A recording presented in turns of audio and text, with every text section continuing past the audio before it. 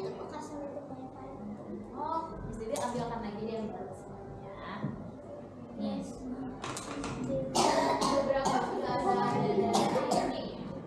kan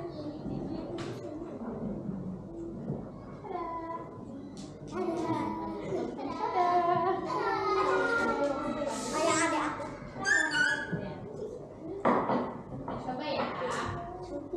Kalau yang ada airnya boleh dibuang dulu oke